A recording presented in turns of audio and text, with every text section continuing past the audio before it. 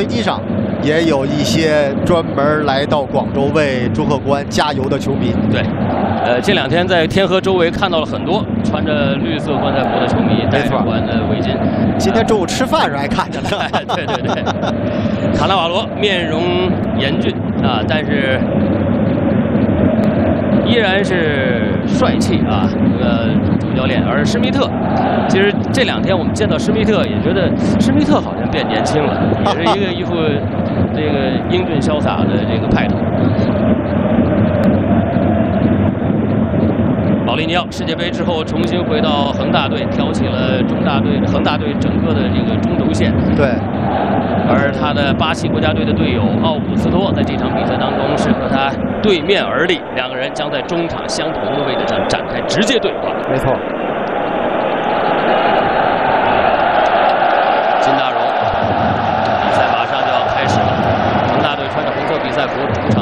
在比赛的上半时，我们将从电视画面的左侧向右侧来看。随着金大荣的一声哨响，这场比赛已经正式开球。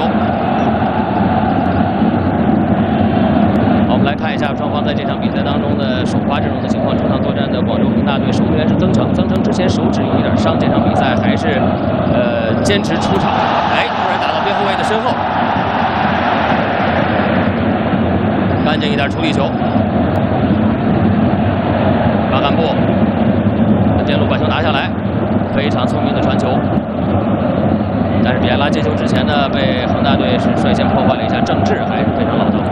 今天在前场跟巴坎布呃配的应该是巴顿。对。我们索性先介绍国安的阵容吧。呃，郭全博还是首发的门将，是一个 U23 球员。那史密特呢，在后防线上排出了张宇、于洋、刘欢、金泰妍。这样一个阵容，从开场的站位，我觉得还是一个四后卫的站位。对，四后卫。呃，于洋和张宇打到中后卫的位置，左边后卫是刘欢，右边后卫是金泰妍。在中场的这个三个人，也就是四三幺二中间那个三呢，是持中国居中奥古斯托在左边，右边是张稀哲。先看这个球。哎呦，刚才是巴坎布在内部啊，往中间一挑。你要非常强悍，连续突破了国安队两道的拼抢。接着我们来看看高拉特，高拉特自己带球突入到罚球区里边，禁区内一定要注意动作。对，逼出去。塔利斯卡，这是个危险人物。塔利斯卡突然搓射一脚，他有这手啊，就是基本上不用怎么助跑，然后拿左脚兜远角。好在这脚球呢没打太大的力量，他要的一个巧劲儿。呃，郭全博注意力也比较集中，直接把球抓住。塔利斯卡加盟恒大以来呢，已经在他参加的九场比赛当中打进了十一个球。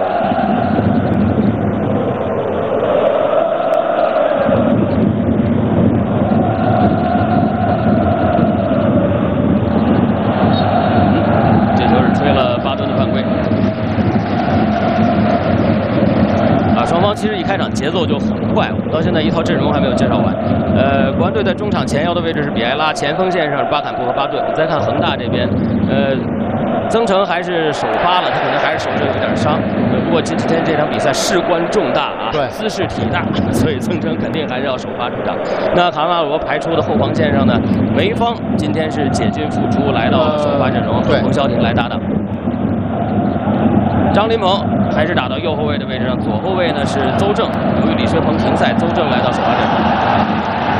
哦，这是恒大非常聪明的一个进攻的方式。那么刘欢干扰了一下之后，在中后卫位置上于洋的解围。对这段时间啊，我们看广州恒大队的攻击力啊，主要是集中在咱们的左路。嗯。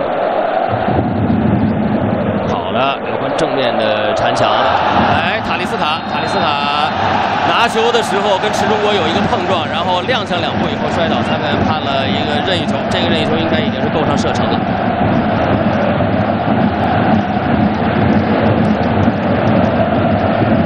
郑智和保利尼奥在恒大的阵容当中是搭档后腰，而郜林和 U23 球员钟一浩在今天比赛当中各打一边，一个四二三幺阵型。哦，刚才是广州恒大队寻求一个快发，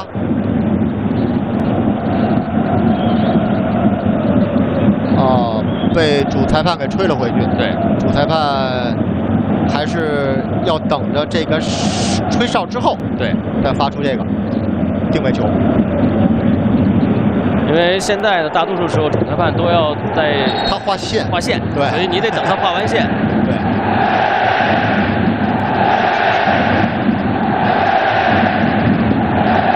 奥利尼奥和塔利斯卡两个人站在球前，一个左脚，一个右脚。做好准备，塔利斯卡，哇！这个球啊，和一四年邵佳一罚球那个位置基本上是一样的。对，只不过塔利斯卡是打了一个近角。对，这球打的还是非常有质量。我们看啊，绕过了人墙，打到球门立柱上。对，我们看，非常有威胁的一个球，球速也比较快。如果这个球是在球门范围里的话，我觉得郭全波可能来不及够到。对对，从这个身位上来看，如果说球门的话，呃，就危险了。对对。又是塔利斯卡，二十四岁的巴西球员，之前效力于贝西克塔斯。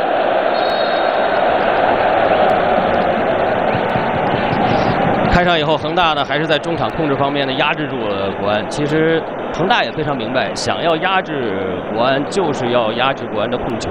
没错，不让国安拿球，国安的威胁就不会打出来。张琳芃。传球到后点，这时候稍微短了一点保利尼奥控制的范围非常大。邹正，邹正上去了，这一下打边路啊，直接打透了国安队的边路，在中路。呃，刚才啊是广州恒大在在咱们的右边路有一个后套，刚才张稀哲和这个金泰妍呀，这两个人啊其实应该有一个换位。对。呃，如果说金泰妍跟住那个后排插上的人啊，这球可能他对方传的不会这么准。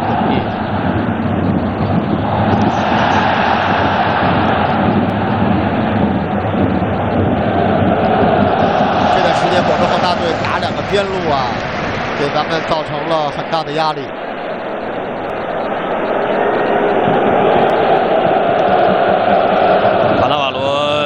在场边，呃，依然是紧锁眉头。但事实上，现在呢，国安队在场上的形势相对是被动的。恒大队给开场打得相当强悍，这个要求像奥古斯托、像比埃拉、像张稀哲、像巴坎布这些球员，他们得在拿球的时候多想些办法。好球啊！巴顿拿球向前突，这个被张琳芃直接铲倒了。张琳芃在开场就吃到一张黄牌。刚才是巴顿沿边路的快速的突破。造成了张琳芃的犯规，而且吃到了黄牌。刚才这个就是在奥古斯托拿球以后，快速的交给比埃拉，比埃拉分球，巴坎布过渡以后交给巴顿。就是咱们在中后场由守转攻的时候啊，对方对咱现在呃抢的是比较凶。对，如果说咱们能在中后场把球给挡出来的话，咱们的机会就有可能会出现。对，而且恒大阵型提的比较靠上，也恰恰是国安队的打法喜欢的。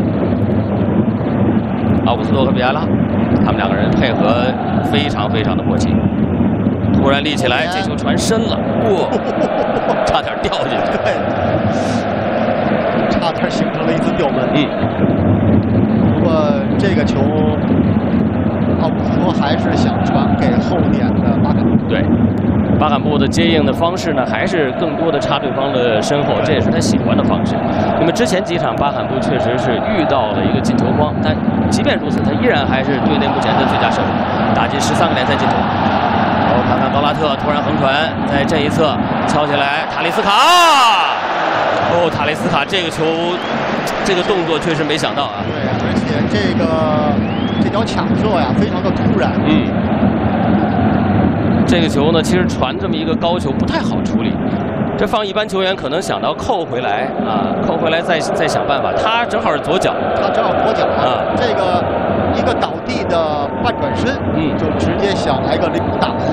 我说难度确实是比较大。国安队现在得拿回控球权。池中国突然一个长传，啊，冯潇霆的注意力非常集中。恒大这种向前的传球还是比较直接。而事实上，在中超所有球队当中呢，向前传球是国安队数量最多。当然，这基于是国安队总体传球数量更多，啊，是中超传球次数最多的球队，所以向前传球也更多。所以这两支球队全都是向前打的比较直接。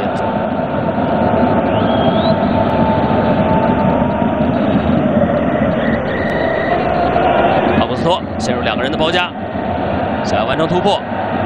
奥古斯托为这场比赛已经足足准备了两周的时间。好的，别了，别了，把对方的解围球断在脚下，突然挑起来，奥斯托，嗯，完全来回穿插，这个球，这球，这球应该是吹罚了越位，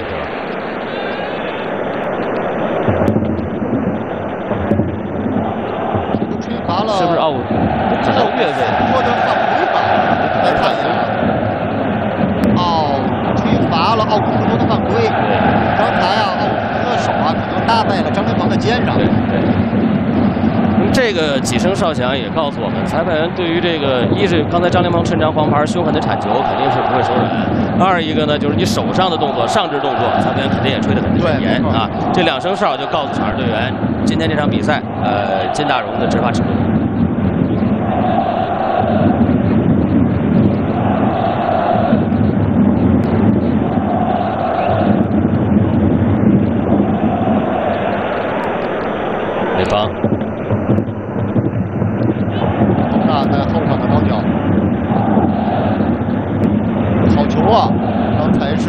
一个蝎子歪尾，把这个勾了回去。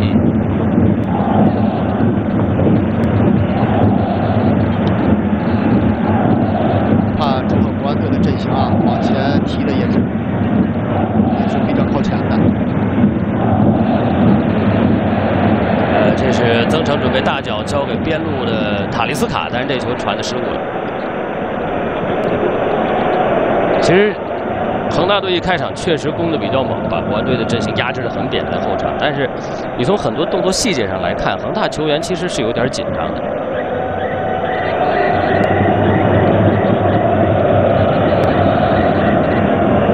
好球，张稀哲连续带球突破，嗯，在正面遇到了非常强硬的这个阻击。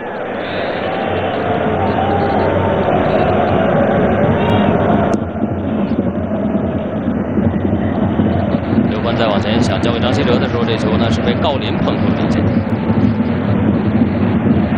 高拉特、塔利斯卡这两个人在锋线上，现在已经越来越有感觉。其实塔利斯卡加盟之后呢，连续的打进了十一个球。高拉特尽管严重减产，但事实上他为塔利斯卡的这个出色发挥和高进球率是铺平了道路。对，他打到一个突前的位置上。过去这个位置呢，要么是阿兰打，要么是郜林打，对，是吧？他在高拉特是在影子前锋那个位置，高拉特是打在前腰的位置，对，所以现在等于是高拉特在前头要吸引对方的后卫的注意，所以他在影锋位置上前十一轮打进十三球，这个进球率相当可观。呃，但是当他打突前的时候，最近这几轮的比赛，高拉特的进球明显减少，但塔利斯卡和保利尼奥一个进十一个，一个进八个。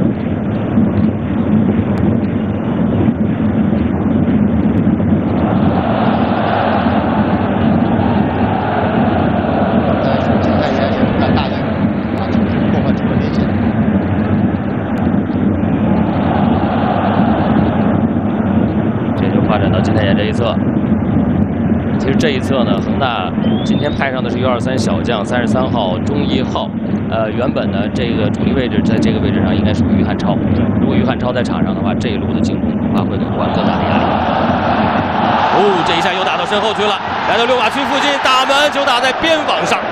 刚才咱们的右边路啊，又出现了比较大的空当，被勾正。勾正，邹正这球啊是往里的切进，然后他是选择了打门。对，他这球啊是，你看，这应该是保利尼奥的突破。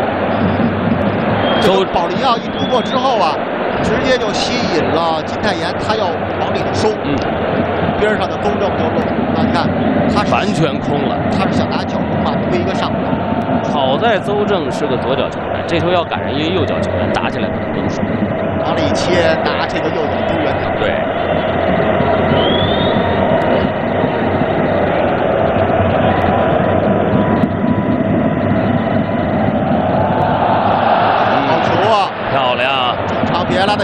看看能不能有机会。哎呀，别拉自己打了啊！刚才其实巴坎布已经给巴顿跑出了一个空当。对，其实刚才别拉要有一个直传的话，可能效果会不会更好一点？是，但是恒大两个人追防追的也比较紧，比埃拉觉得这球传过去很有可能队友接不到。我们再来看看啊，刚才是巴坎布的斜插，斜插，巴顿直插，对，啊。别拉选择自己打，其实这球也很接近啊，打了一个远角，稍微的偏出了一步。现在双方都贡献了非常有威胁的攻势，并且都完成了最后的打门。对，就是只要是双方啊到对方的禁区前，就有可能呃会出现比较好的机会。对。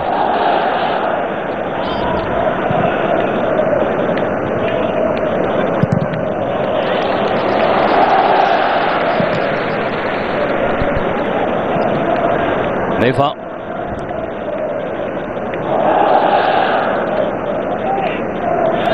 今天刘欢是来到了首发的位置，因为本来的主力的左后卫李磊还是受伤停赛。哎，刚才这球是铲倒了巴顿啊！裁判并没有鸣笛，恒大还是持球在进攻。国安队这时候要防守，注意位置，右路太空了。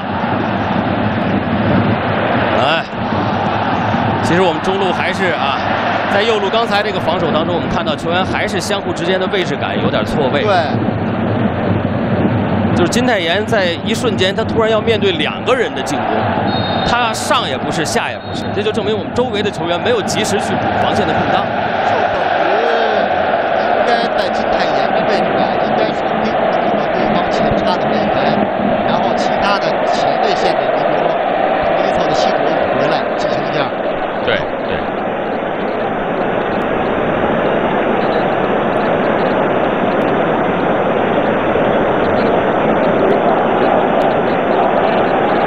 巴顿刚才被踢了那一下之后呢，一直在前场都没站起来。这时候医务人员已经进场了，我们的队医在紧急的为巴顿治疗。刚才米埃拉那一下，其实梅方的位置一直站的还是比较好。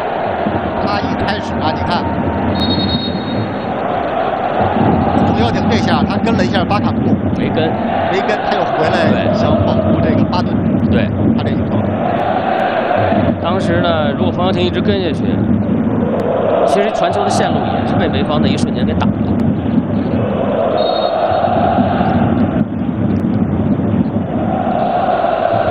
双方正好趁这个机会补补水。其实恒大球员也肯定是，也肯定是非常的觉得这个很很闷热，因为天气条件对双方是一样的，只不过就是存在一个适应和不适应的问题。对。其实今天的天气也是突然一下就闷热起来了。对。昨天的天气还好。奥古斯托奋力在滑铲救这个球。嗯，奥古斯托也是和国安队一起呢，在他征战了世界杯，长达一个多月，从备战到征战完世界杯也是一个多月的时间，然后再跟着国安队一起，在四十四天的时间里打了十二场各项赛事，那么非常疲劳。经历了这么一段之后呢，有了四五天的假期，啊，休息之后回来跟球队一起来备战。跟广州恒大的这场关键战役，漂亮！好球啊！空了，看看能不能……哎，嗯，什么？哦，刚才是吹罚了掷边线球的时候啊，然后咱们回传是界外球，呃，出界了。刚才可能助理裁判一直在举旗，主裁判没有看到助理裁判。哦，今天呢，确实是选派了呃外籍裁判来执法这场关键战役，是来自韩国的金大荣。但是本场比赛的视频助理裁判，两个这个边线的助理裁判，呃，包括。裁判组的其他成员全部都是我们本土的裁判员，所以可能沟通上面会有一点问题。这是主裁判，来自韩国的金大荣。朱鹤国获得了一个前场的定位球。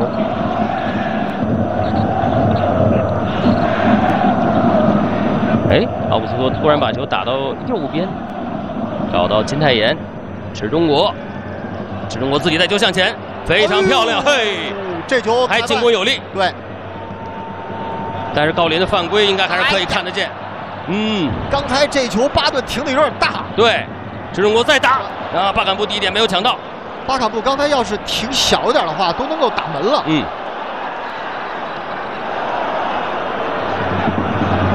哎，这这不犯规吗？刚才在背后，这个。这几次这样的一个背后动作，裁判员好像都在很近的地方啊，而且当然现在也一直没有死球啊。现在是别拉倒在了地上。对，而且刚才郜林，郜林在自己的防区左侧那一下，是不是应该补一个补一个判罚，至少有一个警告吧？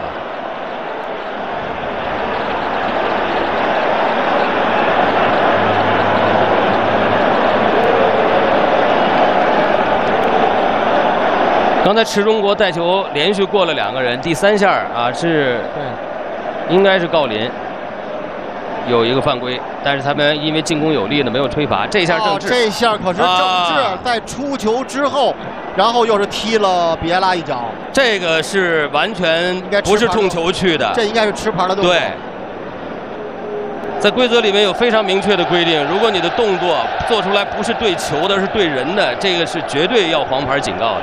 而且刚才裁判的位置非常好。再看，再看，球早就已经出去了。这他问题是刚才我们可以看塔利斯卡在他在比埃拉的背后还有一个踩脚腕动作。所以国安球员在这样的比赛当中，又是客场作战，一定要保持好自己的心态。这种困难也是我们应该赛前在呃准备会当中准备足的啊，一定会碰到这种困难，这不用想。一定会有非常非常多的困难。我说这种困难的时候，我们怎么办呢？所谓，哎。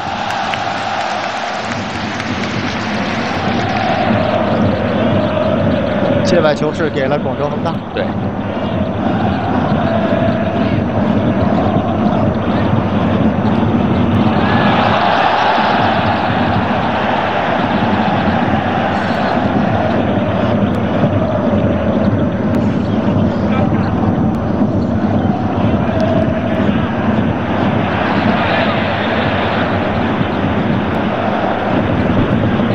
这场比赛确实打得非常焦灼，双方其实到目前为止谁都没打出自己的真正的特点。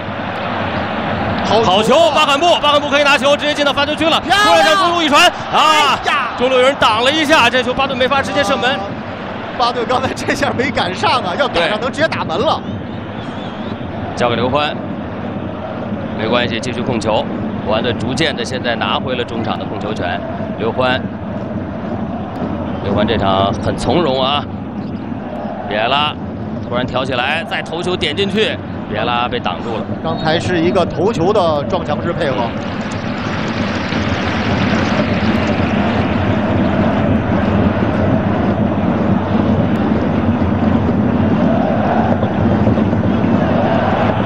这个是张林鹏及时回收。这球吹的别拉的犯规，其实别拉没什么动作。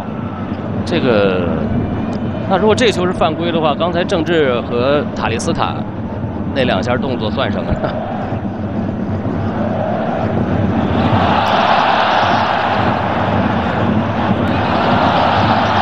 好，嗯这个时候裁判这个球裁判看得很清楚，确实先碰球了，哎，但我们自己传球出现了失误，这个太不应该了。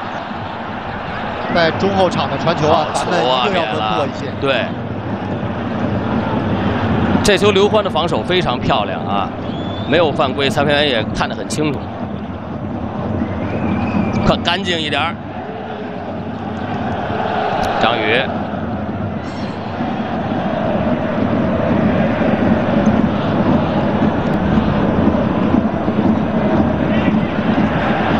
我们在中场啊，给恒大持球人的压迫现在显得少了一点。对，他们传球都能停球、抬头看，然后再传出来。这样的话，你自己的防线就总会直接面对对方的威胁球。而且广州恒大这场比赛打的也比较直接。嗯。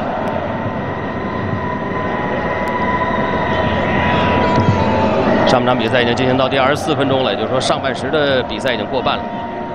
目前场上的比分还是零比零。大家现在看到的是我们在广州的天河体育场为大家现场直播的2018赛季中超联赛第二十二轮，广州恒大淘宝队对阵北京中赫国安队。刚才是刘欢在边线抵住对手，在边线的转身，造成了对方三十三号中一浩的犯规。巴顿转身，边路张稀哲在接应。传的稍微有点晚了，哎，所以张稀哲拿球之后，这球保利尼奥迅速就上来了。张稀哲也是刚刚从国家队回来，其实他在国家队比赛当中也受了一点小伤，好在影响不大。朴成呢？朴成是受伤，也是受伤了，但是朴成应该在今天的比赛名单里。朴成今天在十八人名单里。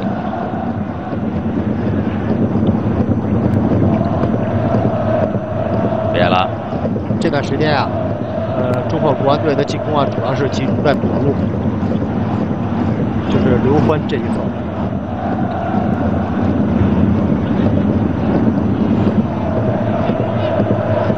这中国倒到右路，所以说，恒大呢也是因地制宜改变了自己的进攻重点。其实这个赛季呢，于汉超是恒大队内的助攻王，他打打了六个助这比高拉特的五个助攻还要多，但是这场比赛约翰超是停赛，所以在他停赛的情况下呢，恒大的进攻往右路倾斜的比较多，还是要注意中一号这一侧。对，一对一，刘欢好的，刘欢挡了一下，对，点的于洋把球踹出了边线。这中一号还是很敢拿球，对。那赛前我也是和这个广东台的同行了解了一下中一号，中一号虽然打。多啊，机会不是很多，但是危险了。这球啊，球速比较快。对，保利尼奥没有控制住球。好球，非常漂亮。啊，这球没越位。对，二打一，二打一的机会。这球巴顿往远端跑，但是巴巴坎布传到了近侧，继续逼他，继续逼他。刚才巴顿和巴坎布没想到一块儿。对。刚才巴顿呀是想往外拉开要球，巴卡布是给了一个直线。其实刚才啊，其实巴顿往外拉拉扯一下也可以，我觉得。但是我们看到没有，就是当国安队持球形成有威胁的攻势，在进入到进攻三区之前，恒大队的防守动作都非常大。这个说明了恒大球员在这场比赛当中，他们还是确实心态上。再看这个。哦，刚才是内部的传中，奥古斯托被梅方是挡出了底线。对，其实我们可以看到，就是广州恒大他往上呃压的是比较大的，但是反过头来，咱们一旦能够突破对方的中场这条线的话，他的后防线也是存在很大漏洞。这是国安队开战以后的第一个角球，由奥古斯托来主罚，镜头给到了恒大队这边的五号张琳芃。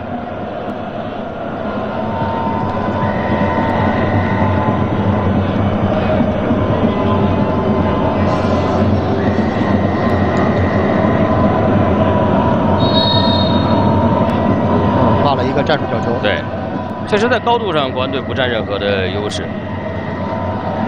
恒大队这条防线呢，不仅有身高，而且经验也是非常丰富。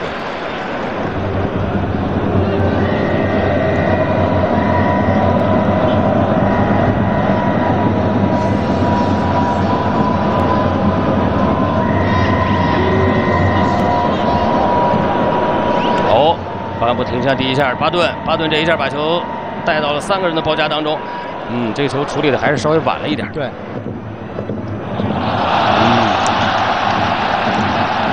现在防线是要快速落位。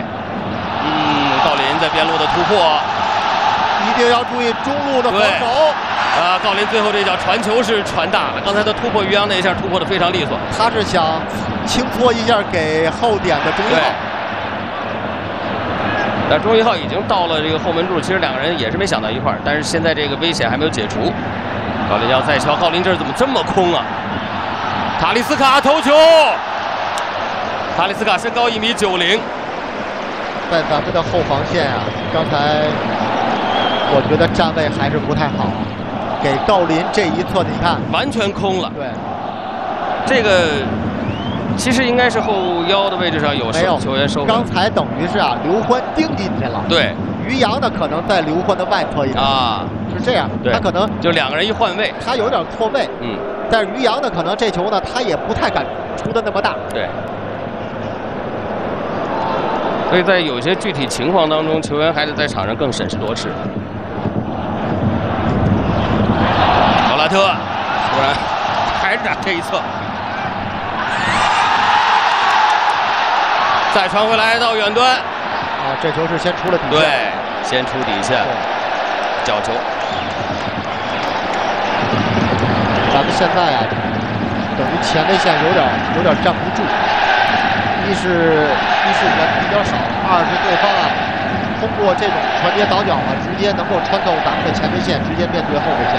你说这是不是跟现在这个很闷热的一个天气，比赛打过了将近打到将近三十分钟的时候，国安队出现了第一个体能极限？呃，有点关系。天气闷热，对吧？是一个原因。对。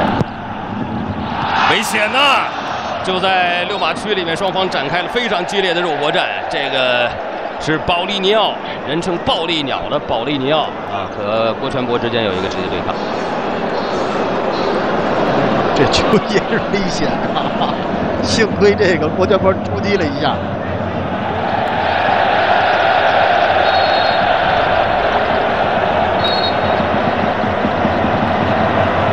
看来守边郭全博的衣服全部都湿透了。对。啊，这时候补水了。上半场打过一半了嘛，这时候需要补水，而且国安队也有队员受伤。这是上半场比赛这短短不到三十分钟的时间，医疗组第三次进场，看来是准备要换人了。对，朴成是站在了场边。对，朴成站在场边，国安队已经出现了伤，有人受伤必须换人的一个局面。于洋，那刘欢跟张宇搭档中卫吗？我们一会儿看看是不是换于洋。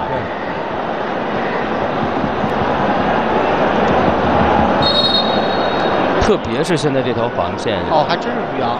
啊。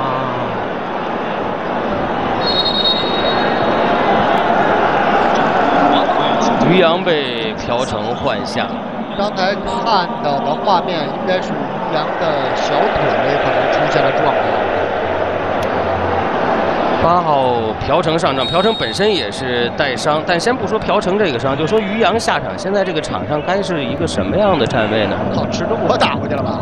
啊，对，池中国打到中后卫位置上，然后朴成，朴成打到了池中国的位置上。对，哦，池中国之前倒是踢踢过中卫。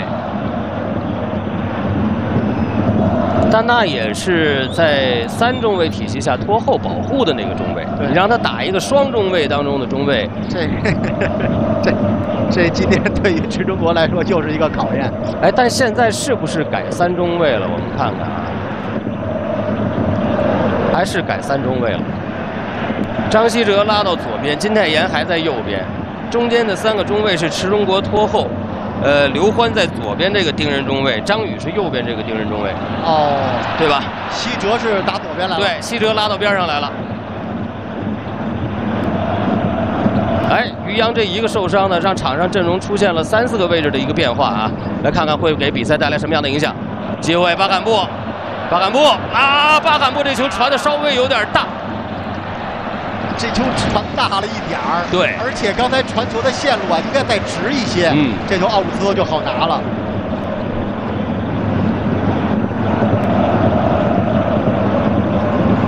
巴坎布第一下停球其实非常好，但是他给巴坎布这呃给巴这个奥古斯托这一拨呀，拨的稍微大了一点。对，力量稍微有点大。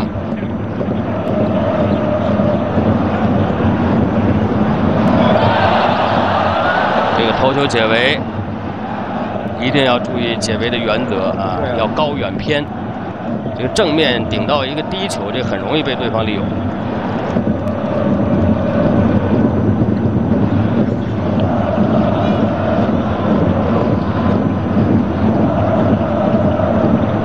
调整直接向前一顺，想跟张稀哲寻求配合。这个球张林鹏呢，到位把球给接获了。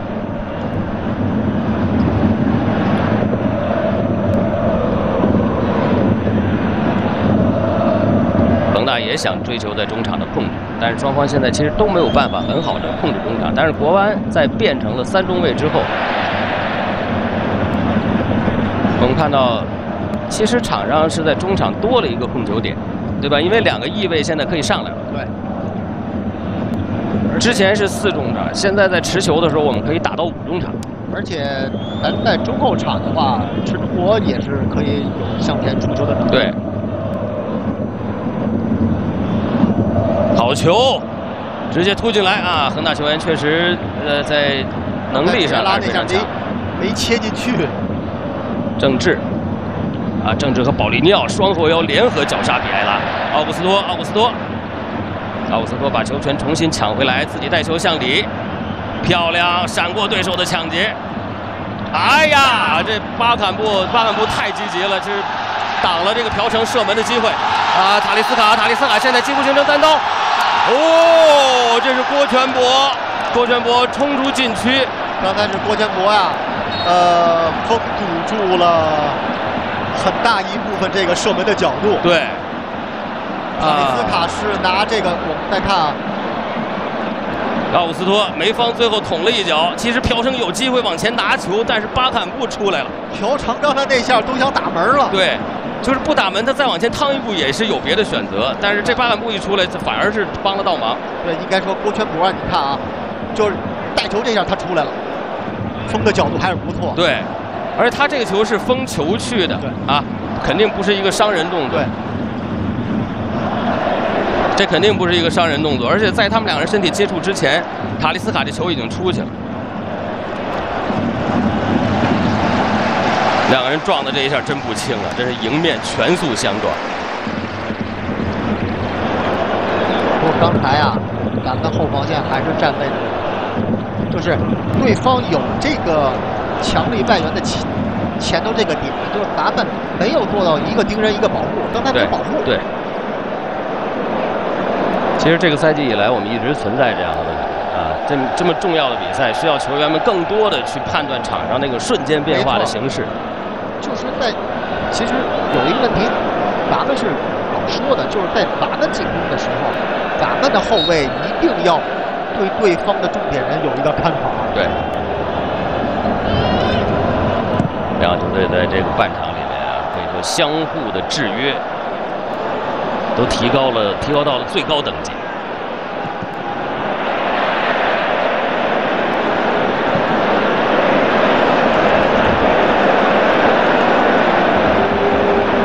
曾诚，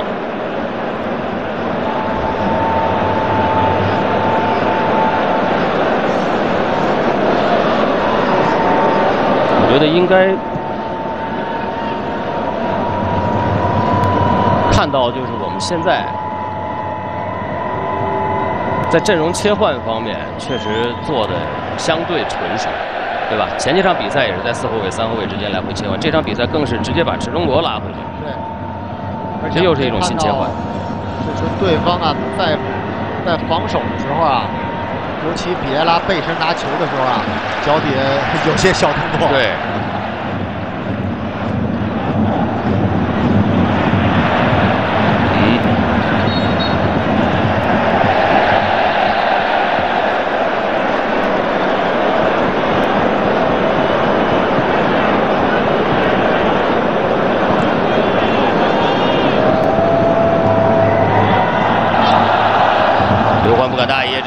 还给郭全博，中后场啊，足球还是应该稳妥一点。哎，这球出罚了谁？越位啊！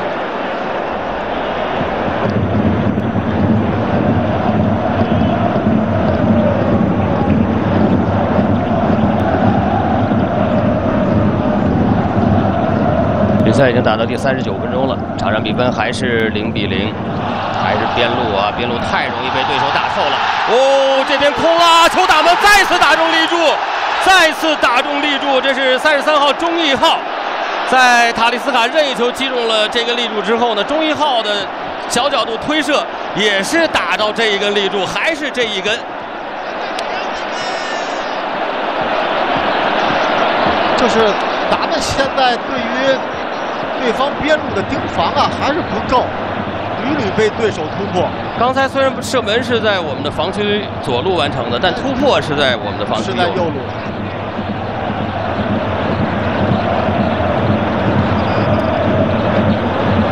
在进攻端看看国安队有什么办法没有？漂亮，张稀哲，张稀哲，张稀哲。哎呀，这球被对方的防守球员给封住，还可以拿到。姚成。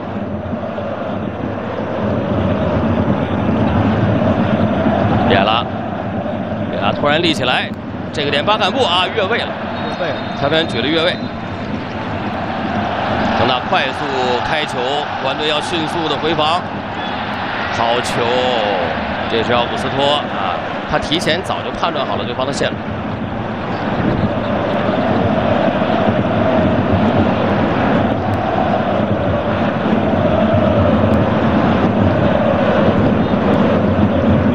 塔利斯卡，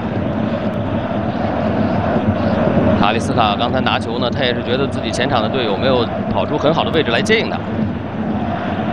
嗯，卡利斯卡，哎，非常强悍，巴坎布犯规了。这球是巴坎布犯规，这是巴坎布犯规了。对。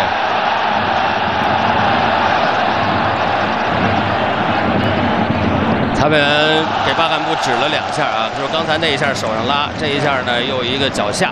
所以这两下二罪并罚，给你一张黄牌啊，很清楚，这个黄牌没问题。因为有时候球员如果说你连续犯规，可能第一次他不会给你牌，但是你连续第二次犯规，他就有可能会吃牌。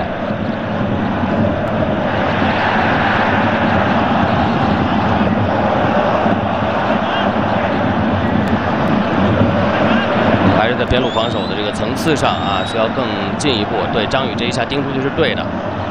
嗯，保利尼奥甩头攻门，这球呢没顶正球的部位。刚才这个球啊，啊，我们看，这够危险，这个逃过一劫。天河这一侧的球门呢，同一根立柱挡住了恒大两个势在必进的机会。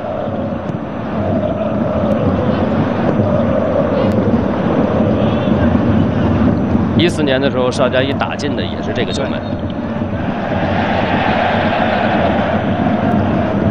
在客场对阵恒大呢，一共有七场联赛的经历，在这七场中超联赛当中呢，国安队是一胜三平三负。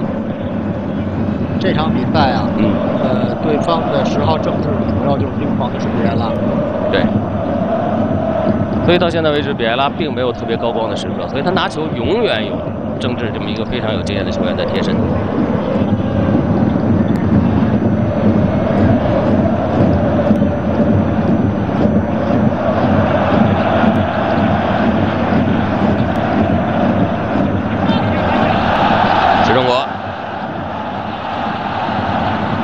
这下要盯住他，不能让他轻易出球。哎，巴坎布犯规了，但这下是对的。巴坎布也要注意动作。对对对。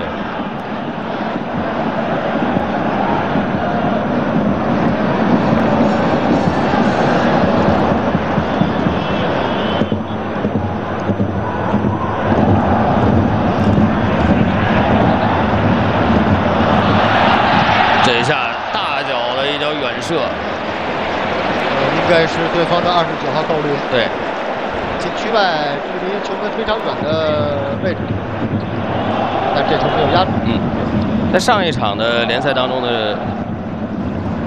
广州恒大是在主场战胜了上海申花，人员不整的上海申花，比分是二比一，两粒进球恰恰就是郜林和杨立瑜这两个本土球员打进的。杨立瑜也是在最后时刻。对。才帮助恒大锁定了胜局，而在此前的这个八轮，也就是世界杯之后的这个呃前八轮联赛当中呢，呃大多数进球全部都是恒大的这个新的外援班底，他们的外援组合打进。就在这个整个九轮的三十四个进球里面，恒大的这几个外援打进二十六。注意这下，保利尼奥又自己从中路杀上来，哎，郭全博。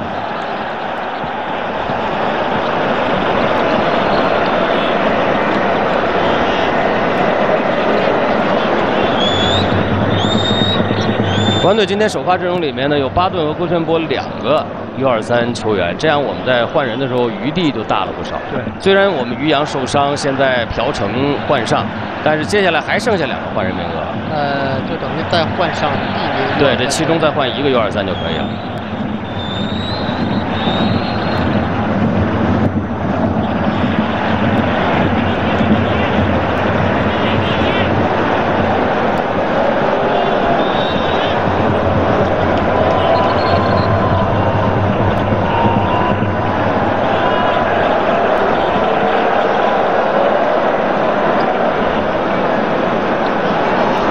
天河看台上，在上半场行将结束的时候，大家都点亮了手机的电筒功能，出现了繁星点点。啊，这个是不是表示对于主队上半场比赛的表现非常满意？上半时上庭补时两分钟的时间。啊，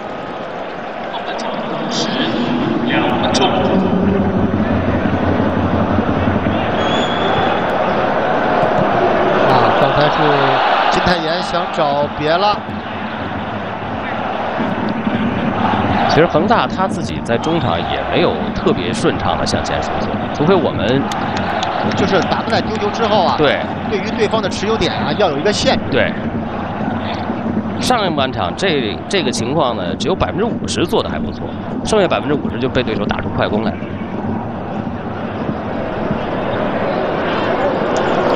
而我们自己也得加强由守转攻那一下，就当我们断球以后，那一下怎么去发动进攻？因为打恒大这种对手，可能胜机就在一线之间。机会，机会，转过身来打门，哦，远点没有人包抄，巴坎布气得直掉脚。刚才这球巴顿还是想打门，好像是。对。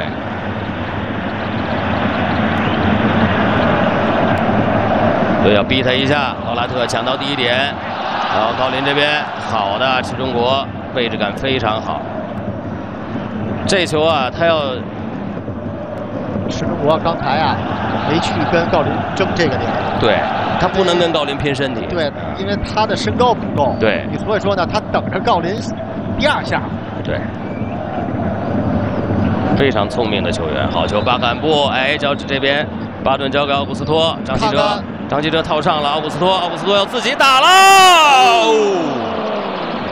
奥古斯托左脚往里一扣，然后右脚。这个是他的射门方式，这也是他的射门区域。啊，这球再往里包一点就好。但是奥古斯托之前接球呃晃动摆脱这个动作已经做得非常完美，最后这个脚内侧的一个兜射呢，稍稍的角度大了一点点。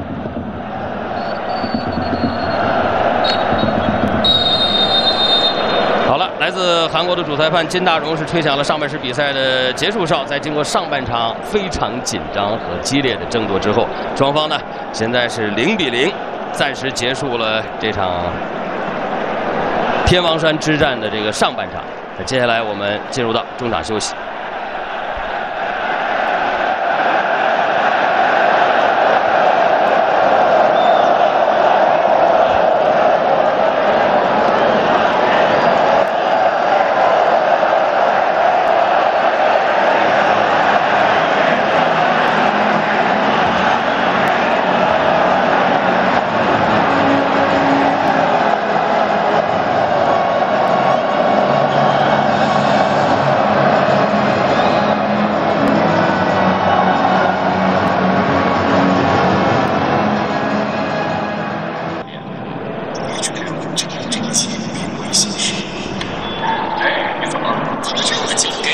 电视台，北京电视台观众朋友，欢迎收看我们为您直播的2018赛季中超联赛第二十二轮，广州恒大淘宝在主场对阵北京中赫国安。现在双方下半场的比赛呢，马上就要开始了。北京国安的球员呢，已经率先回到了比赛场地。目前场上的比分是零比零。在上半时的比赛当中，双方经过了非常激烈的缠斗。那么这个半场比赛，南指导你怎么总结？呃，再说这半场比赛，给我感觉双方都有机会。呃，可能恒大队的机会更好一点。从中赫国安这方面来说呢，我觉得，呃，两个边路在下半场一定一定要把防守做好。对，我们可以看到，呃，从广州恒大来说，上半场获得比较好的机会都是从两个边路的突破，嗯，给咱们形成的。看得出来，卡纳瓦罗呢在这场比赛当中，在战术上是有重点布置的，就是打击我们两个边路。确实，两个边路也是我们在过往的这个二十多轮比赛当中暴露出来的防守相对弱一点的短板。那么这场比赛，恒大应该说上半场利用的很好。他们在上半场呢，虽然控球率不占优势，国安达到百分之五十三的控球率，恒大呢只有百分之四十七，但是恒大创造出的有威胁的机会确实比国安队要多。呃，对手有十一次射门，国安只有四次射门，而且十一次射门当中呢，恒大有两次是打中了球门。的目标，呃，只不过是被郭全博给扑出去了，呃，还有两次打门柱，还有两个立柱，对，同一根立柱，嗯，而国安在上半时的四次射门当中呢，没有任何一次，呃，是让曾诚要被被迫做出扑救的，就是说没有我我们命中目标的射门。其实不得不说，现场的这个天气，尽管天气对于双方来说是一样的，但是呃，毕竟广州恒大已经习惯了在广州这个天气里面打比赛，一年当中有至少一半的比赛他们都要在这儿完成。北京的天儿已经有点凉爽了，对，但是广州这边天气确实比较闷热，所以这个带来的直接影响就是我们在场上啊，在很多局部要靠。高强度的奔跑来完成的一些攻防的动作，可能受到天气影响，我们球员体能，呃，会出现一些的被动。没错，就尤其是在盯人方面，你比如说，呃，广州恒大来说，他两个边路他后排的插上，尤其他左边路的兜正，嗯，他往上插上是比较多的。对，就是咱们就是一旦由攻转守的那一刻。咱们是不是能有更多的人全速的回防，把位置站好？对，这点是最关键的。现在双方下半场的比赛马上就要开始了，国安队已经严阵以待。上半场应该说巴坎布啊没有获得什么太好的机会。其实关键还是在他身后给他送威胁球的比埃拉被恒大队限制的非常的严格。那下半场无论是奥古斯托、比埃拉还是呃巴坎布，他们可能都需要在传接跑位上想到更多的办法。北京电视台，北京电视台观众朋友，现在我们继续为大家转播广州恒大对阵北京国安的下半时的比赛。这是本赛季第二十二轮的联赛，恒大队在主场作战。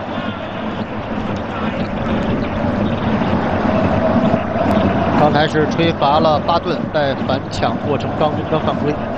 经过中场休息之后呢，双方都没有换人，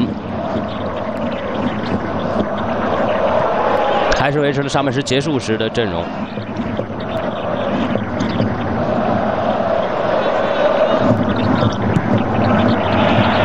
曾诚还是大脚把球开到边路，这是上半场已经有一次了。对，啊。今天脚头欠准，对。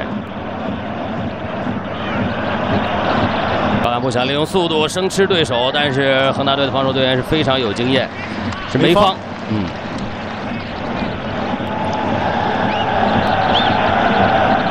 恒大队的防线呢，尽管有伤病，但是他排出的这个阵容还是国家队的防线。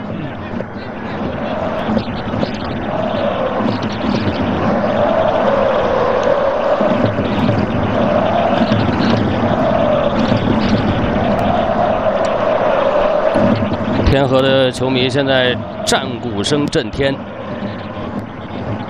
两边的球迷都清楚，呃，下半场比赛这个开局是非常重要的。好球，奥古斯托一个滑铲把球断下来。啊，嗯，这是朴成已经护住了皮球，但是对手的邹正呢冲上来，从身后把朴成撞倒了。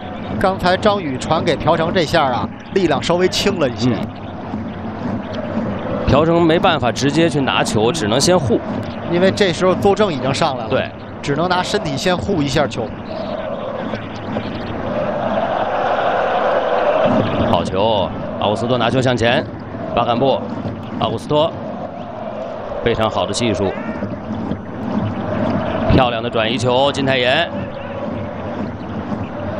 禁区前比埃拉，突然传过来，比埃拉，嗯，这球巴顿做的稍微小了一点而且刚才啊，就应该说对手这种加强还是非常的迅速。对，恒大回防。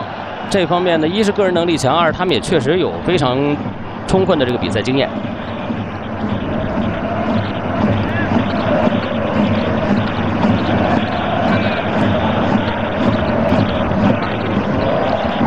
塔利斯卡，塔利斯卡今天回撤拿球还是挺多的。别拉在逼抢，郑智把球交给塔里斯卡。塔里斯卡突然传了一个长传，哎，刘欢在这个位置上保护不错。高拉特不要让高拉特，嗯，高拉特还是抢在了朴成之前把球拿下来。高拉特自己打门了，这叫太正，也没有打上力量。但是之前高拉特在这个一对一对话当中，个人能力真是彰显了。对，刚才你看朴成啊，没靠住，没靠住高拉特，被高拉特从身后把这球给抢过去了。高拉特在。上个赛季贡献了二十粒中超入球，哎，越位，越位，哦，越位。郜林是在越位的位置上。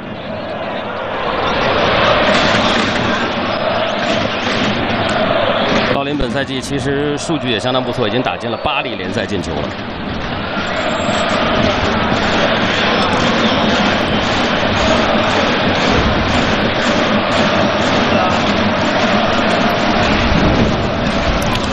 嗯，巴坎布头球后蹭，但是这球蹭的稍微长了一点点。这边邹正，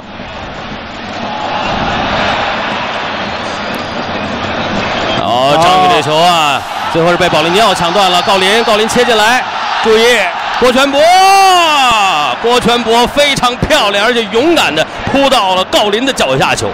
主要是刚才啊，池中国那下有一个滑铲，稍微的干扰了一下郜林。对，要不然郜林就可以更简练的处理。刚才张宇这下啊，嗯，就在后场太拖大了。对，在这条线上是不能这么拿球的。而且没有说一个后卫你在这个中后场，你你这个你进行拖拉球。多亏了拖后打拖后位置的。池中国和守门员郭全博贴近他，我们的站位还是有一点混乱。郭全博把球打出来，不要让塔利斯卡起脚。多亏球落在他的右脚上啊，这球第一下没打上。对，这样他的左脚就很难说了。现在国安队有反击的机会。哎，这球郑智的犯规。吃牌的，这个是要吃牌的。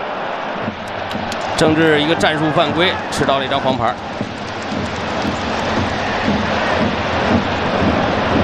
张琳芃、郑智都吃到了黄牌，国安这边是巴坎布有一张黄牌。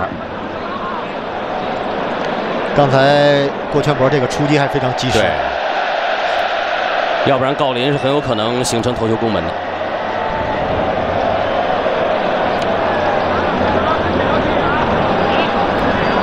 三十八岁的老将郑智，这场比赛真是拼了也！哎。奥古斯托横向带球，跟他是巴西的国家队队友的保利尼奥对他是非常的清楚啊，这个球路，池中国，非常漂亮，这就是提前的一个判断和选，很聪明的球员。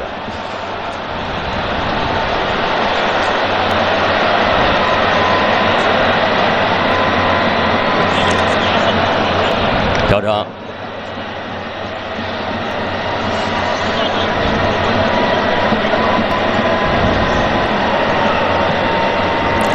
传给奥古斯托，嗯，奥古斯托想连停带过啊。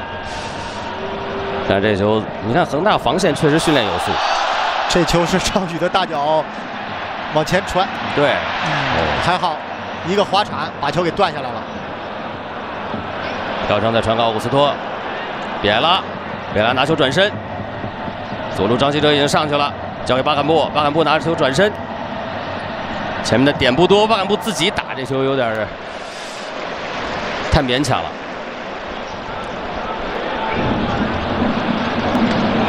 嗯，邹正好像有点问题。黄博文，黄博文这场比赛呢是进入名单但没有首发，他在替补席上。现在卡纳瓦罗要进行第一个调整了。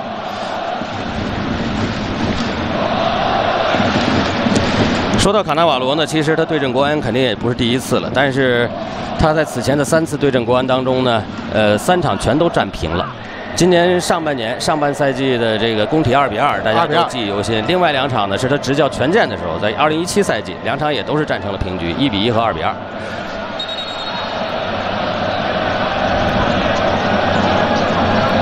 而施密特对阵恒大，这是第三场。角球开出来，头球攻门！哟，差了一点点，应该是张宇吧？对，张宇是抢到了这个落点。在六码线上抢到后点的这个落点，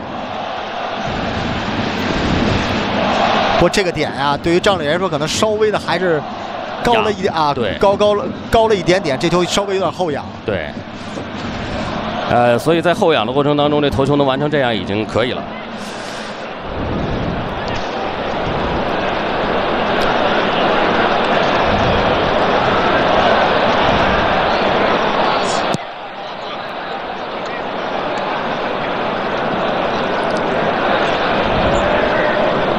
拿球，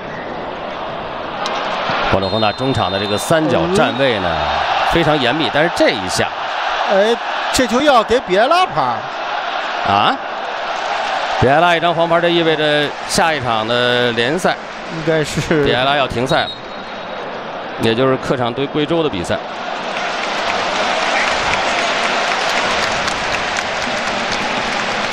比埃拉一直摇头啊。我们看看有没有慢动作的回放。哦，要换下三十三号钟一浩。嗯，那这样意味着广州恒大接下来两个换人名额必须得换幺二三球员。对，三十三号钟一浩换上十六号黄博文。那么这样卡纳瓦罗换上的才是目前自己的最强阵。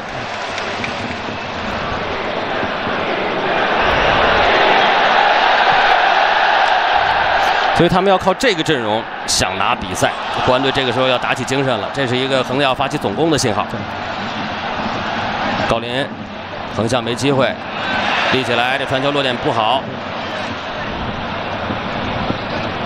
嗯，塔利斯卡，哇，郭全博，这球还没有解围出去。哎，刚才刘欢呀，刚才抢球是扑的太猛了。因为那个点呀，不是刘欢的点，他一往上一扑，你看这这球，对，而且他当时防守的重点呢是在外线，塔利斯卡这个球肯定要往自己左脚停的，对。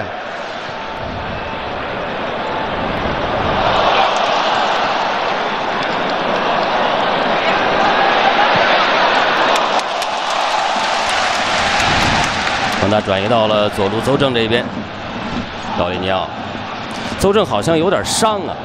他有点上不去了，然后国安这边可能也要换人。于大宝现在站在场边，于大宝可能要上场了。在对手的黄博文上场之后，国安这边也要换人。好球，看看有没有机会。巴顿，巴顿把球拿下来。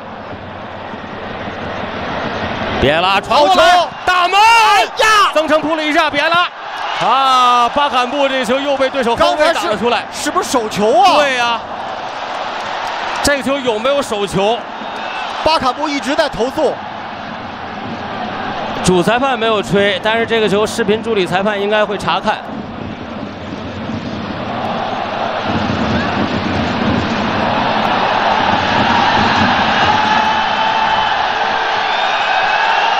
这个时候场上球员先保持一个平常心啊，冷静一下。曾诚受伤了。守门员受伤，这个比赛肯定是不能进行的。而且最关键的一点，没有给慢镜头。对，当然刚才一直没死球，没给慢镜头。现在我们看看有没有刚才那个巴坎布射门那一下啊，对方挡出来到底是打在什么部位上？呃，巴顿下，于大宝上，国安也派出了自己的最强阵。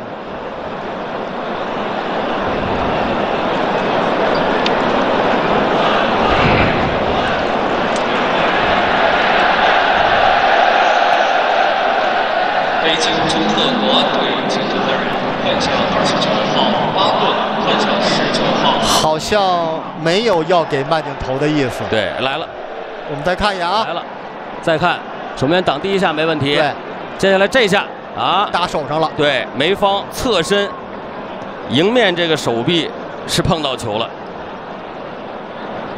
再看梅芳在前门柱打门，手臂张开了，而且碰到球了。再看，再看一眼这对，手臂张开碰到，球了明显的手球，这应该是一个点球。这是点球。但这球呢，你要说主裁判看不到有情可原，但是视频助理裁判也没有提示。换上二十号邹正，换上二十。这个是对球点球的漏判，对对吧？按照视频助理裁判的这个使用指南，呃，有明确的规定，就是球点球得分就是破门，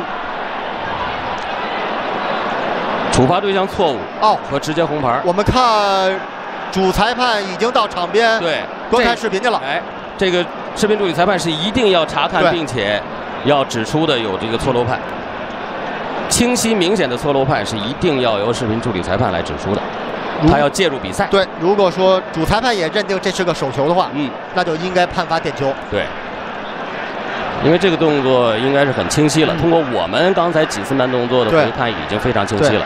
这时候主裁判查看过了之后，我们看啊，跑向恒大的进点球点球，点球，点球，恒大队被判罚了点球。这个点球的判罚是对的。对，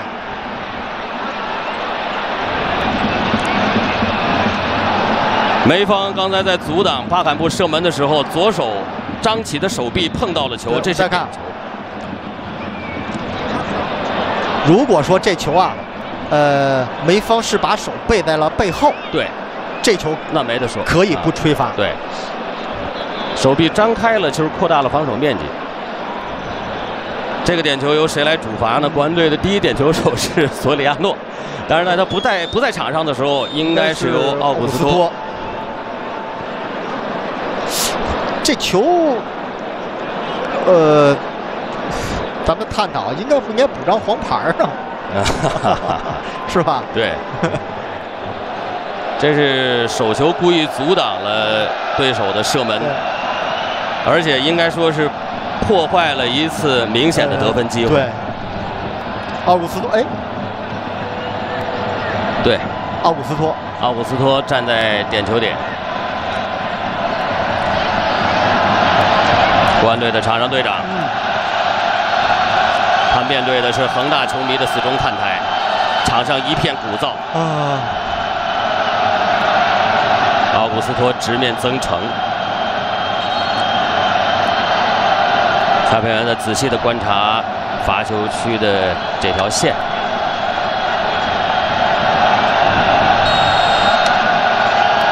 奥古斯托，啊，曾诚扑出了，啊，曾诚扑出了奥古斯托的点球。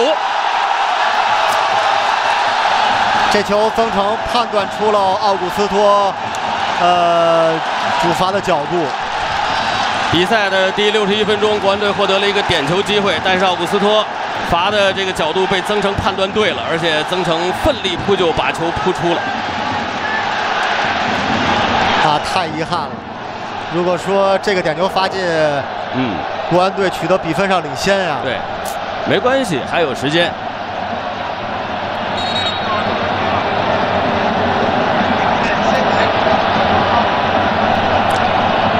刚才这个判罚点球的过程呢，邹正是下场。我们看看这个角球，高拉特把球顶出来，好的，这一上非常关键。高拉特，高拉特还是拿到了球，这是我们后防的保护要错落一点。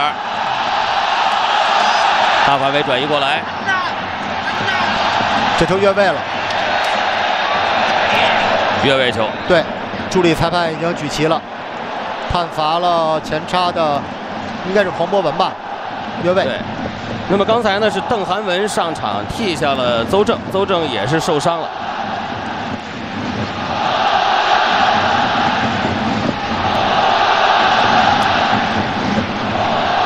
刚才这下池中国造越位非常的清楚。对，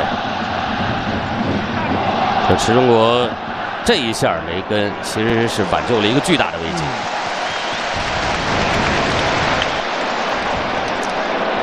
这下点球没进，其实没有关系啊。呃，上半场恒大也有两次立柱啊，都没能打进。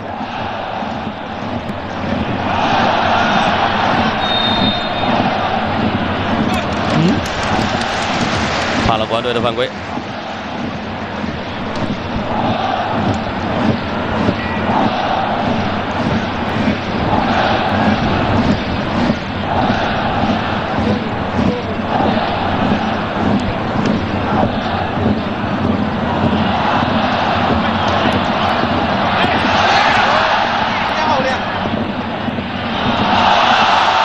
这边邓涵文再传进来，张宇先出一脚，把球补出了底线。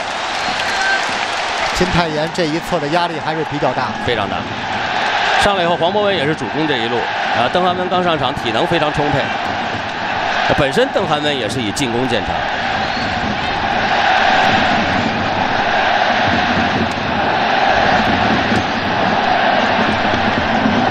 黄博文来主罚这一侧的角球。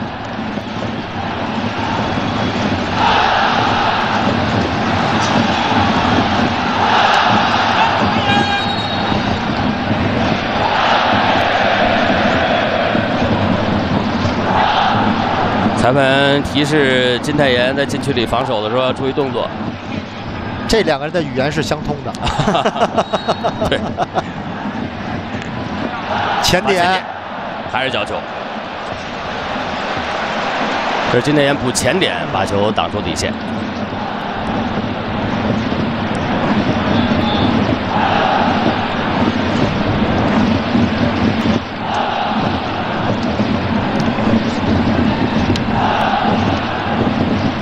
下半场比赛打了二十分钟，危险啊！还是前点。对，这球球速比较快。卡纳瓦罗布置的非常清楚啊！比埃拉，比埃拉把球给断下来。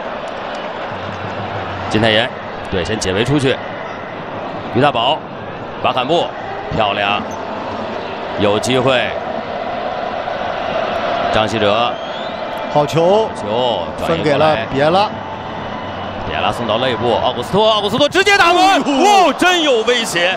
这球打的是相当的突然，我们可能都以为这球奥古斯托是想传中，或者往回一扣，对啊，但这球直接呀，直接的是瞄了曾诚的一个近角。我们再看这球，他起脚之前已经有一个观察的动作，他瞄了一下守门员的位置，对。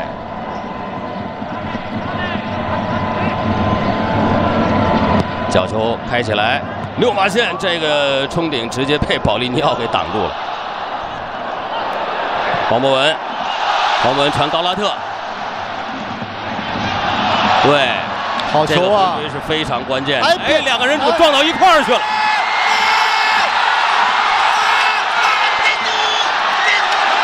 好，没有，没没有点球。邓涵文。刚才等于是咱们两名球员抢到一块儿去了，其实这球没有危险了，已经。两个球员在防守的时候出现了一个重大的错误，两个人撞到一起，本来已经控制球权了，本来已经控制球权，但是让邓涵文反而实现了一个单刀机会，但是邓涵文突然出现这么一个机会，他有点不知所措。刚才郭全博确实跟邓涵文有一个身体接触，但是没有致使邓涵文直接倒地，他还是完成了射门。对。但是这一下呢，郭全博已经完全有时间回来把球再抱住，所以这球不构成点球。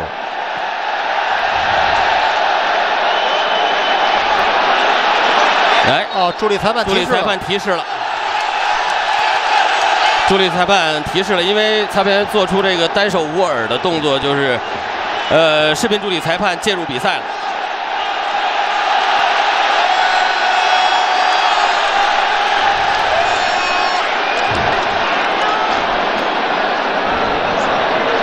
那么，如果这个时候介入呢，很有可能是认为刚才国安队禁区里发生的那个情况，视频助理裁判认为可能也有漏判情况。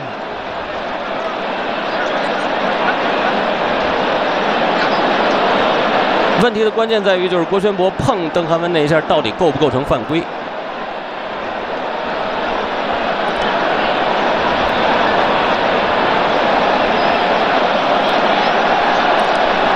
真是一场非常紧张刺激的比赛啊！这球有推人啊！对，之前有推人啊。邓涵文是刚才已经是推了那谁一把，推了朴成一把。对呀，你要是按照这个前后次序，应该先吹邓涵文的犯规。对，先是邓涵文犯规了。对，邓涵文犯规在前。啊，显然是根据郑智这个表情啊。裁判员已经向郑智做出了解释。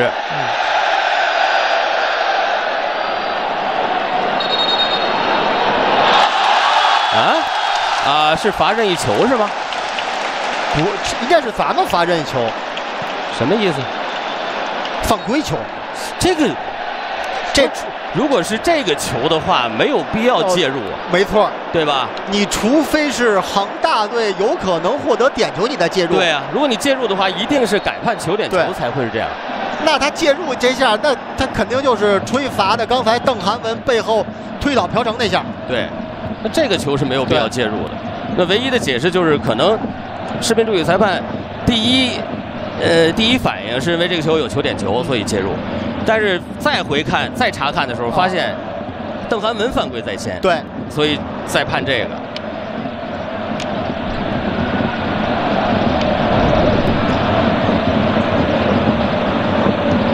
这是一个很清晰、很明显的背后推人，而最后的判罚结果是没有错啊，但是这个介入稍微有一点糊涂。那就除非他一开始可能认为那个啊郭全博可能有犯规的，对对。他可能需要更长时间的查看，所以他叫停了比赛。对，因为他不可能就看郭全博扑邓涵文那一下。这个时候大家得集中注意力，把注意力全部拉回到比赛当中。给恒大太从容的控球机会了，郑智，啊，这是。哦，吹罚了张宇的犯规。对，张宇撞倒了郑智，郑智快发任意球，黄博文再分到右路，塔利斯卡需要有人替他近的，离他近一点。塔利斯卡左脚这脚兜射还是打远角。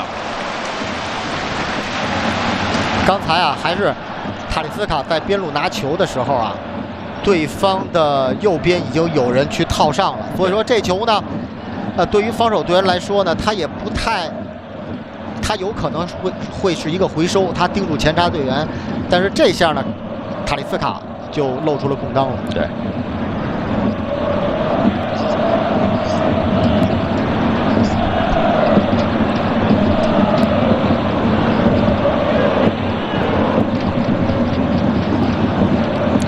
斯卡身高占了优势，直接顶到高拉特，高拉特向前插的速度非常快。他的破坏力是很强的，高拉特横向摆脱，再立起来，打门！哟，这球应该是刘欢挡了一下，第一下刘欢挡完了之后呢，是弹在了保利尼奥的身上，出了底线。不过这下对方的前插又形成了一定的危险。高拉特非常直接，就是这种直线的配合。还好这球啊，咱最起码咱跟住了。嗯。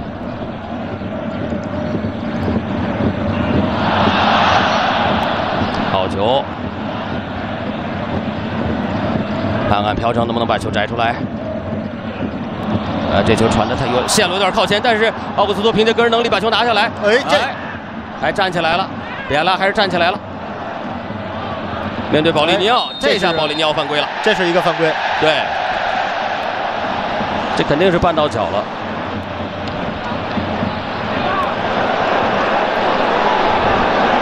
禁区正面的任意球。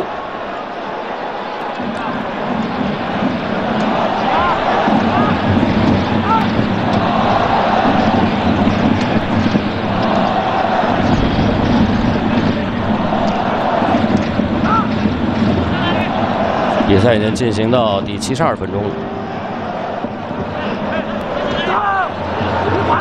哦，这个球是是比埃拉主罚，嗯，但这个点呀，对于比埃拉来说好像有点远。稍微有点远。嗯。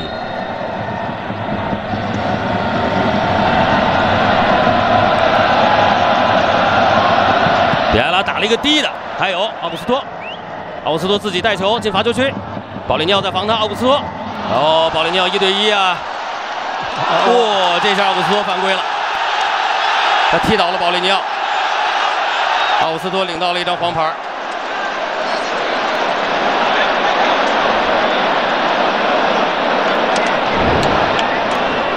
这球啊，这球奥古斯托呀是想有一个铲流，对，但是他是奔球去，对，但身体已经跟不上了，对，是勾倒了保利尼奥。保利尼奥速度非常快，已经把球带开了。但这球绝对不是冲人去对的。，肯定是冲球去的，但是给黄牌也可以，可以接受。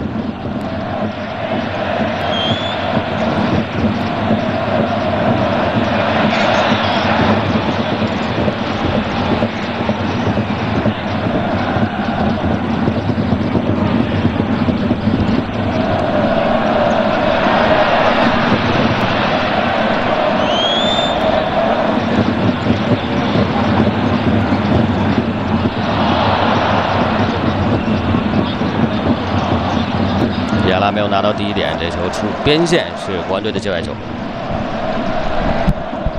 对于现在国安队场上的球员来说呢，体能消耗确实是一个让人担心的问题。因为这个天气，不要说在场上踢球了，我们就坐在评论席上，也一直在流汗，一直在流汗。哦，高拉特速度非常快，注意了，动作干净一点，球进了。特突破了国安队整条防线，最后把球推射进了空门。这是恒大队连续的利用这种快速反击的直传国安队防线身后，不断的去进行袭扰，给国安队带来的压力，最终由高拉特实现了破门。刚才没有注意到高拉特的前插，对，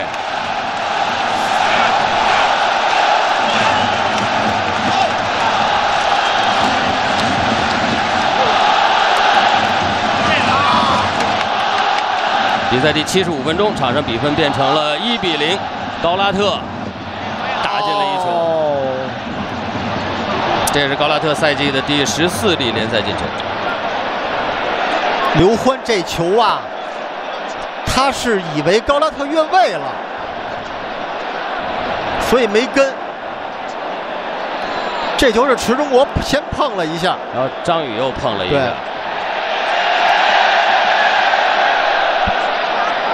哦，哎，刚才啊，会不会是就从那条线来看啊，会不会是高拉特？要回看，要回看，因为啊，刚才你从那条线你那么一拉，你看啊，高拉特的膝盖没准是探出来了。呃，我们再看看啊，对，这个视频助理裁判在下半时已经第三次介入到关键球的判罚，这个球打进了，恒大也完成了庆祝。但是这个时候主裁判呢，在视频助理裁判介入之下，回看比赛的录像，嗯，看的是哪段儿啊？他看呀、好像不是越位那段儿。他肯定，我觉得他肯定要看越位那下。这个主裁判回看的这段视频都是由视频助理裁判通过助手来截取的，截取完了以后放给主裁判看，哦，还真看看的还真不是那段不。是越位那一下。之前是不是有犯规啊？嗯。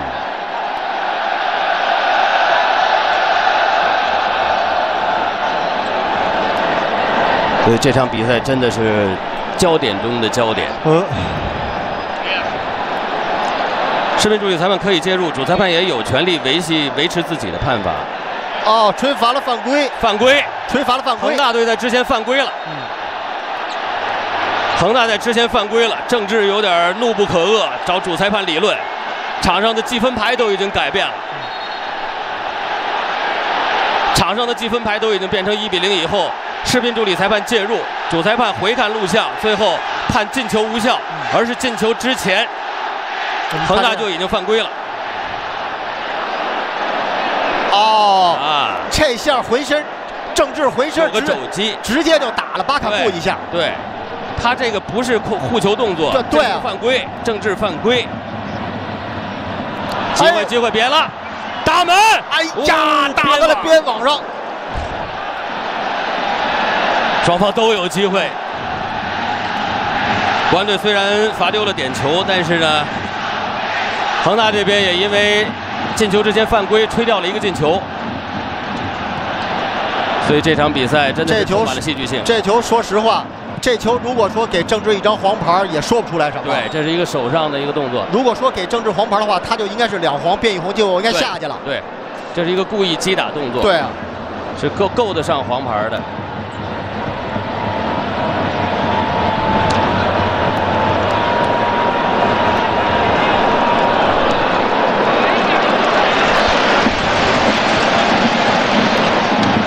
这场比赛到目前为止，真是充满了戏剧性。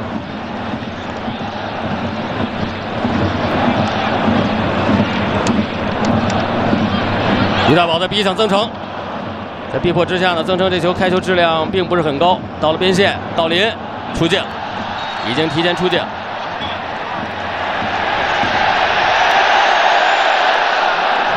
恒大球员现在心态有点失衡，国安得得抓住这个机会，不能等对方调整过来。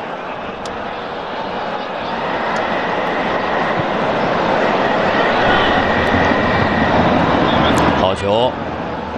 第二落点接应到，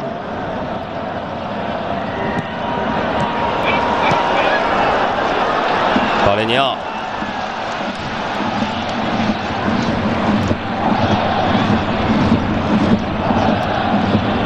邓涵文，邓涵文也不敢出错啊。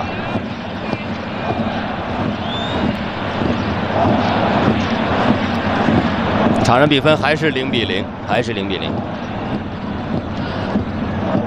调整，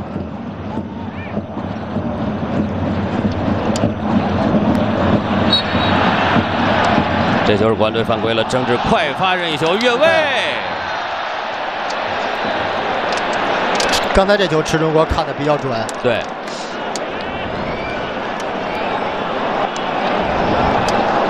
平心而论，高拉特刚才打进那个球是真漂亮，但是呢，郑智之前有犯规，这也是铁证如山。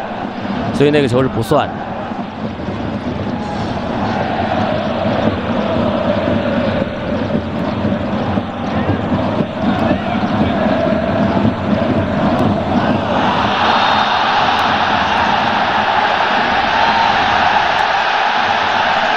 这段时间呢，这个场上的比赛啊，稍微有一点支离破碎，双方因为体能的消耗等等各方面原因，这球运转的都不顺畅。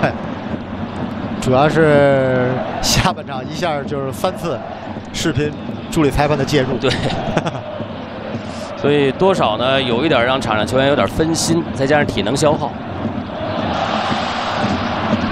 好的，这是朴成回位，巴坎布胸部把球停下来，交给奥古斯托，奥古斯托先把球护住过掉，还有继续，哎。这是一个战术犯规，对人的动作。冯潇霆啊，吃牌了。冯潇霆吃牌了。刚才冯潇霆是一个战术犯规，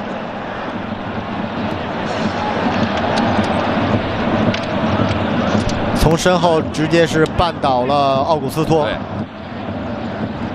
其实犯规之前呢，奥古斯多是有机会把球传给已经拉边的于大宝。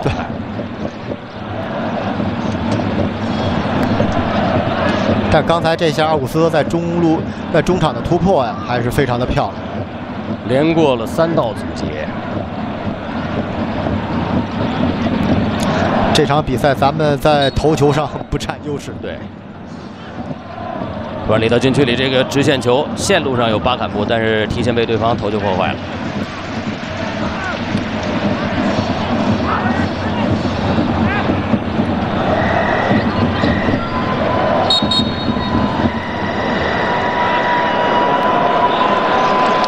场边应该有换人，有换人，郜林下。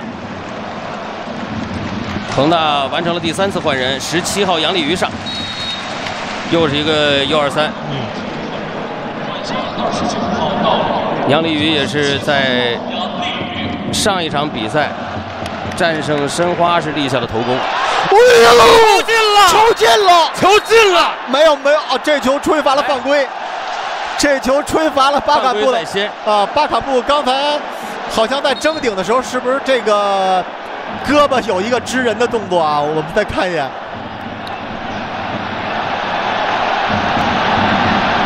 啊，裁判员手势非常明确。这巴坎布有一个，这样也好，这双方真是平分秋色哈。国安被吹出来一个，恒大刚才也被吹出来一个，哎，但是视频助理裁判介入了。对，我们再看一眼啊。这个我们再看看啊，因为刚才真的是电光火石之间也没看清楚，手上是有一个支的动作，但是啊，但是。不是那么明显的一个犯规，但是主裁判还是吹罚了巴坎布的犯规。对，场上比分还是零比零。哎呦，危险危险危险！打门，这是郭全博用脚把球给挡了出来。注意，不要给他身位。这一侧的中卫应该是刘欢，刘欢的位置一定得站住了。高拉特现在在在内部活动的非常多，两边的教练现在都非常非常的紧张。高拉特一直在刘欢这个左肋部在活动。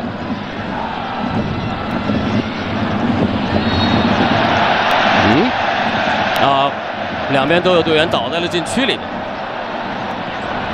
巴坎布。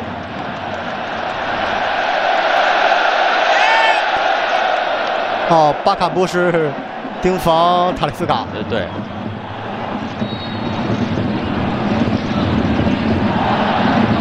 终点。哦，这是保利尼奥，高高跃起，他这个点还真是控制能力非常强。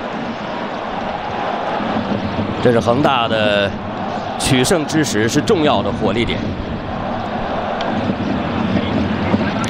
刚才上场那零比零是不是中国国安这赛季第一个上场零比零？以前好像没有过吧？嗯。这球郭全博位置站的真好，直接拿脚给挡过去了。你感觉高拉特这一脚打出去之后，对，国安队都绝望了，但只有郭全博没有。刚才啊，咱们后防线啊，站位不统一。所以我们的三中卫啊，虽然人数增加了，但是从各自的区域职责来说，还得更明确一点。又是直接打身后，金泰妍这时候在位置上，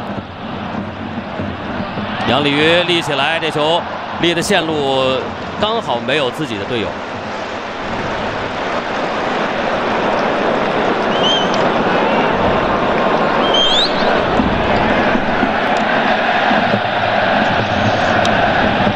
郭全博示意，这护腿板掉了。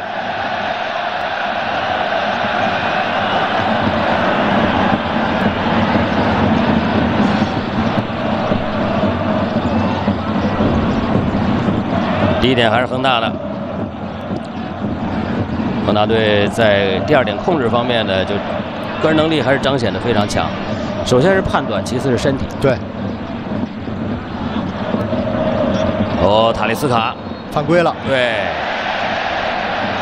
非常强悍，但这个球呢，可能也由于他太高了，所以张琪的手臂刚好打到国安队员头上。对，因为这球塔利斯卡是从背后，嗯，你看，背后应该是斜后方吧，撞倒了奥古斯托。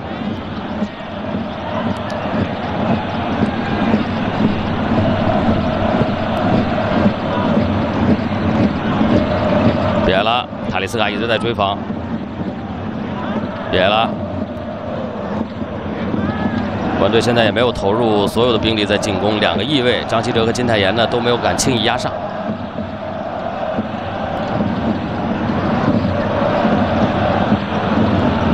张稀哲也示意队友应该快点回来啊，回来得接应这球，得敲上去。巴坎波，巴坎波，哇，这下是张琳芃吧？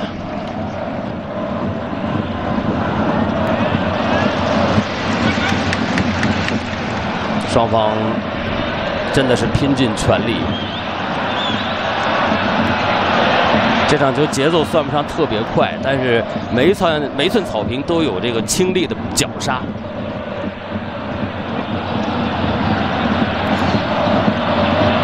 保利尼奥扯到边上，这边又一个人了。对，那总是陷入到，总是这一侧应该有人靠一下，因为老这么二打一的话，防守球员肯定他没法站位。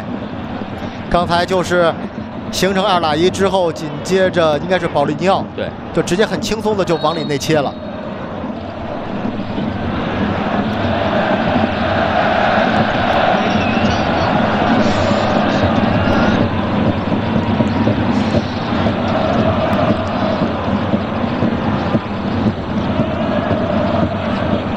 这时候比赛已经进入到第八十八分钟了，场上比分依然还是零比零。刚才吹罚了于大宝的犯规，国安是不是还得换个人呢？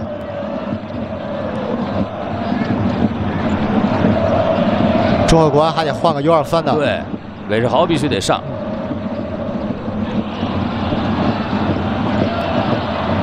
注意对方转身后的动作。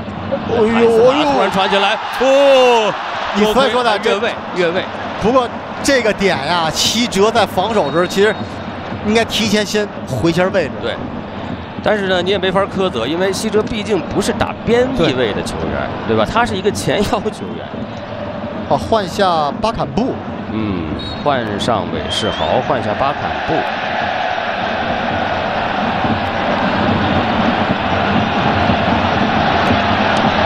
郭全博这个时候腿上有一点问题。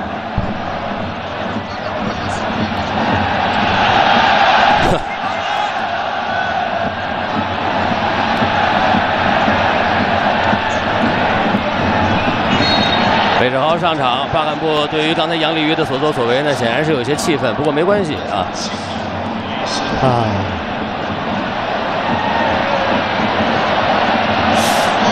我今天有点可惜啊，巴坎布那个单刀没进，但是之后巴坎布造了一个点球。嗯。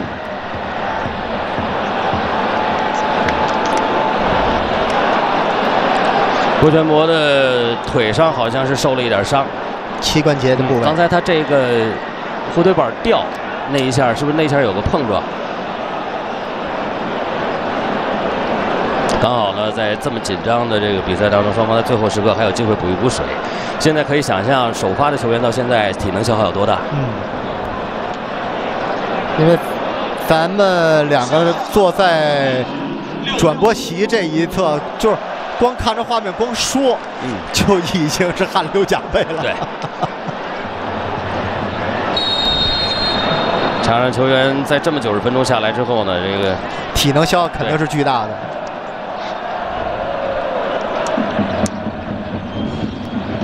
最后时刻还有六分钟，伤停补时的时间，比赛已经进入到伤停补时了。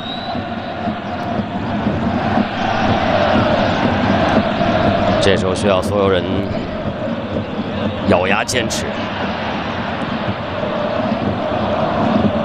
任何一支球队都不能再犯错误。哦，塔利斯卡太快了，大门球进了。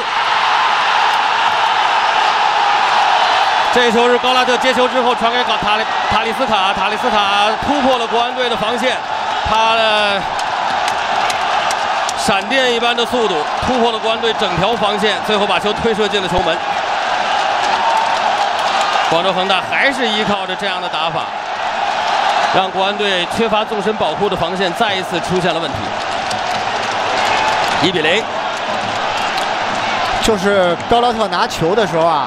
呃，塔利斯卡已经启动了。对，就是咱们的防守，咱们的防守球员可能对于塔利斯卡这个前插这下还是估计不多。你看，对，这个球呢，池中国已经意识到了，马上回收，但是他在速度上完全不可能是塔利斯卡的对手，而张宇其实当时是最接近塔利斯卡的人，他应该给他一下身体。张宇等于就没有跟住这个塔利斯卡这个前插，他应该在身体上给一下干扰，这样塔里斯卡就不可能起这么快的速度，对吧？嗯，这球这球非常漂亮，塔里斯卡进的非常漂亮。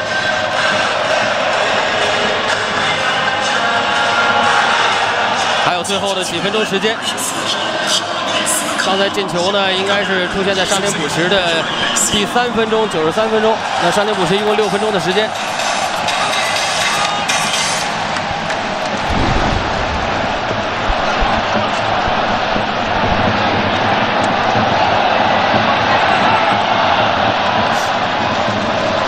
确实是球员的个人能力非常强，而且经验太欠缺了。对。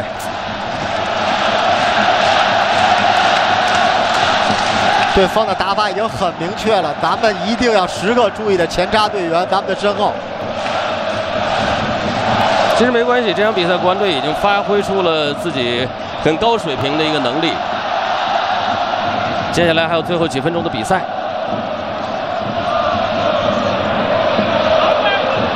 别拉，别拉！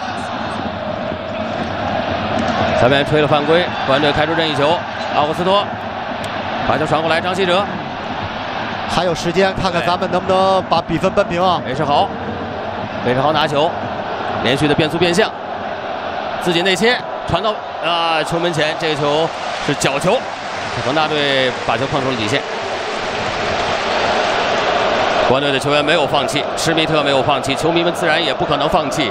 还有最后的几分钟的时间。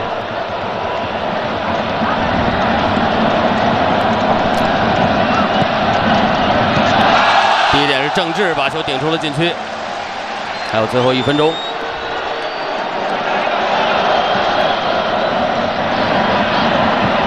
韦世豪一直在追，这一点拿住了以后完成打门，但是球打偏了。这球挺难的，其实。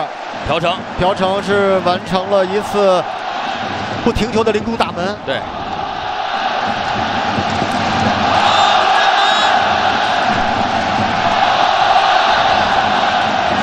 比赛已经进入到伤停补时的最后一分钟了。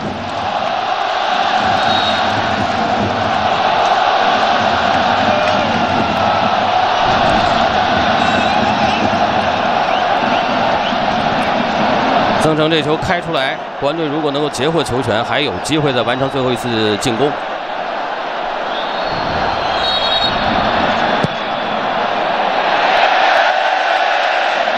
哎。啊，给了曾诚一张黄牌。对，曾诚延误时间。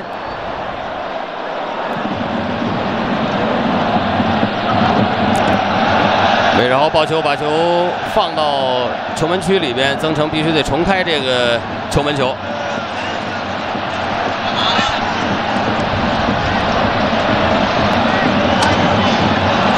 曾诚在利用规则，这一耽误三十秒又过去了。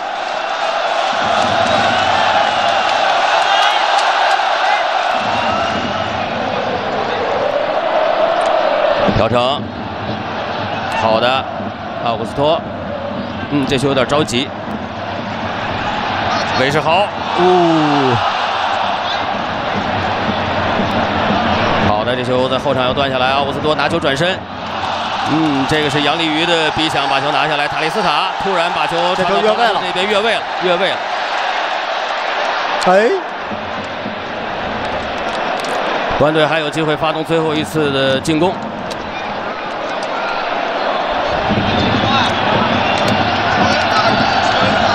这球哎，犯规了！塔利斯卡犯规，明明听到了哨声，还是完成了射门。这个塔利斯卡因此吃到了一张黄牌。